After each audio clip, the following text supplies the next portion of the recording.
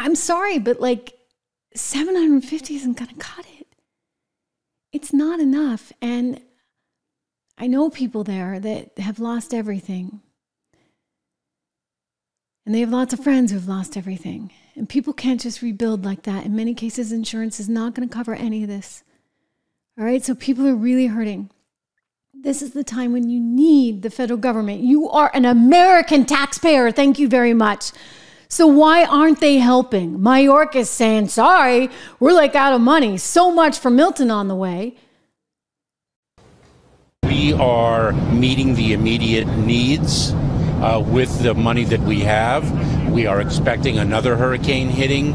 Uh, we do not have the funds, FEMA does not have the funds to make it through the season. You don't have the money to make it through the season. The season happens every stinking season, okay, buddy? It happens every year. It's called hurricane season. When I was a correspondent, actually back at CBS, I remember, was it 2005? I had Katrina, I had Wilma, I had Rita. I mean, there were a whole slew of hurricanes, right? We went and covered every hurricane. It's called hurricane season. So if I'm running FEMA, guess what? I actually try to budget some money for hurricane season. But instead, what are they doing? Well, this one on Twitter, I want to share an excerpt of a reporter that caught up with some people that are in New York who are living off the FEMA funds. And this is not pretty. No, totalmente en español. Yo hablo español. This is all in Spanish. There's a translation. I'll actually translate some of it for our audio listeners on Apple Podcasts. Here we go. ¿Y por cuánto tiempo han estado quedándose aquí en el Rojo Hotel? Desde yo llegué, de julio, ¿Cuántos, cuántos meses es eso? como siete meses. ¿Y han tenido que pagar alojamiento? No, no, no, nada, no he pagado nada. Es, es 100% gratis. Sí, sí. ¿Y le dan almuerzo, desayuno? Sí, sí le dan como... Okay, so for the kids, they give everything. They give the diapers. Y ahí en el hotel hacen limpieza de la What, cleaning the hotel sí, room? Oh, they clean the hotel room for us every day. I wish I had that. Todos los días hacen eso. Every Sí, day? todos los Yep. días. Every day. ¿Han podido poder conseguir trabajo Have you been ustedes? able to No, get a job? no, No. no. Yo no. No. Si ustedes tuvieran un problema de medicina, ¿cómo podrían recibir ayuda con eso? Bueno, eh, con una tarjeta, la, la del seguro de Medi- Medicare. Oh, there's this thing called Medicare. Y eso nos abarca el seguro It que covers the nosotros children's needs as well.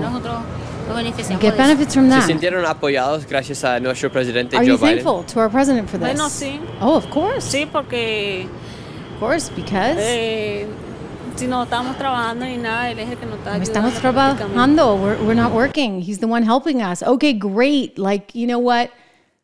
Wonderful. And yet, we can't afford this, ladies and gentlemen. We can't afford this because when Mayorkas tells us there's no more money for hurricane season, and we see headlines like this, let me read them to you. Department of Homeland Security announces 380 million they're sending to migrants. We've got uh, New York City to get 104.6 million for FEMA for asylum seekers. We've got Department of Homeland Security announces distribution of more than 77 million in congressional funding for communities receiving congressional uh, receiving migrants. You've got Department of Homeland Security announces distribution of more than 10, 12 million. I, these are small numbers. I get it compared to what's really needed. FEMA awards. Here's a big one: 110 million to the Emergency Food and Shelter Program to assist migrants. Department of Homeland Security announces 300 million in direct funding to communities receiving migrants and 340 million to a new competitive competitive awards process. Okay, so they've been spending money. They certainly have been spending money.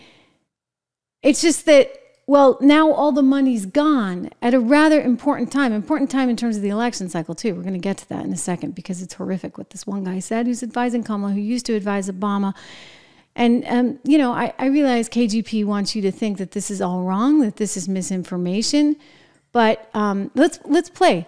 I'm going to play some sound from the past, a blast from the past. But first, consider what she said today. This is minutes ago coming into us from the press room. There, somebody's like, oh, you know, trying to brown nose a bit. Oh, what do you do about the disinformation, misinformation? She's like, oh, yes, that is a problem. It is a problem. Great question. Combating misinformation and disinformation is always, always critically important. It is. Uh, you, you heard the laydown that I gave at the top. The reason I did that at the top is because we wanted to make clear uh, that uh, things are available to uh, to the public, folks who are impacted, and that misinformation, disinformation is indeed dangerous. It gets in the way in what we're trying to do here. It does. And there's been a lot of falsehoods. Uh, and let me just fact check a couple of things because it's really important. Uh, it is, again, it is wrong, it is dangerous, and I also called out the, there are important people, people who have power, privilege, who are spreading these, uh, these falsehoods, and they need to stop. They need to stop doing that. So, disaster relief, this is a falsehood. Disaster relief funds used on immigrants illegally in the U.S. The fact is, no money is being diverted from response needs. That's the fact. I don't think that people are alleging KJP that it's being diverted. I think they're citing the fact that Mayorkas said just last week he has no more money left, that there is no money to actually pay to help the hurricane victims. Not that it's being diverted, but that you're out of funds and that you got no more on the way. That's the concern. Another falsehood FEMA confiscating Helene survivor property. That's false. That is not true. The fact is, FEMA cannot seize your property or land, period. Another falsehood that's out there FEMA will only provide $750 to disaster survivors to support their recovery. That is a falsehood. That is not true. The fact is, this is an upfront payment for urgent needs like food and medication. Many survivors, many survivors will qualify for more assistance. Another falsehood FEMA, FAA are restricting airspace in North Carolina. That is not true. That's false. The fact is, there are no airspace restrictions in North Carolina. So we're going to continue to combat these. It's important to combat them. Uh, but people of uh, people who have a microphone and a podium uh, should not continue to spread this falsehood. It is dangerous. It is incredibly dangerous. Is the administration okay. tracking that? Let me be very clear. What I myself am saying, and I think a lot of others are saying, is that FEMA had a budget. And FEMA misused its budget because it spent all its money. It spent all its money trying to address the very severe border crisis. Okay, now I'm not saying that that wasn't severe and there was not a humanitarian need. For sure, there was. Believe me, there was. It's all the more reason why we need a strong border so that you don't create the wrong kinds of incentives that bring people here that we can't actually cover. But let's be very clear FEMA has said it's completely out of money. It says there's nothing left, for goodness sakes. I'm not making that up. This is my Mayorkas. We are meeting the immediate needs uh, with the money that we have. We are expecting another hurricane hitting. Uh, we do not have the funds, FEMA does not have the funds to make it through the season.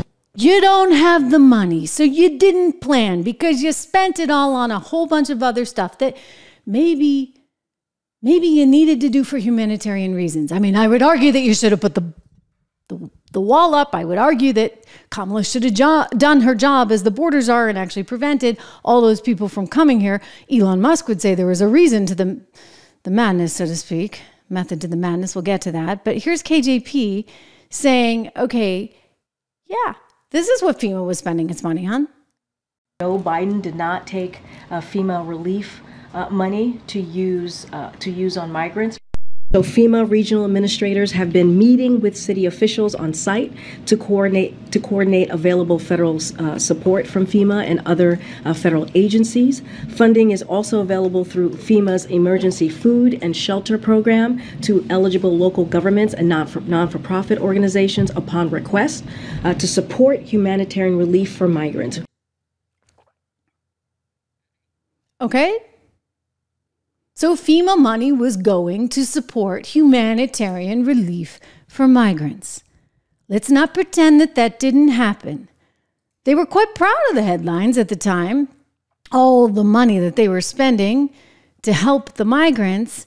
And now, suddenly, when it seems it's time that actual American citizens might actually need the money and the assistance from FEMA, FEMA says it's out of funds. Again, scary, scary, scary political possible reason that David Axelrod alluded to. We'll get to that in a second. But first, Senator Senator Cotton's not having it. Like he went on the weekend show. You know, NBC's got this Meet the Press show that used to be quite legendary, but has gone downhill in more ways than one.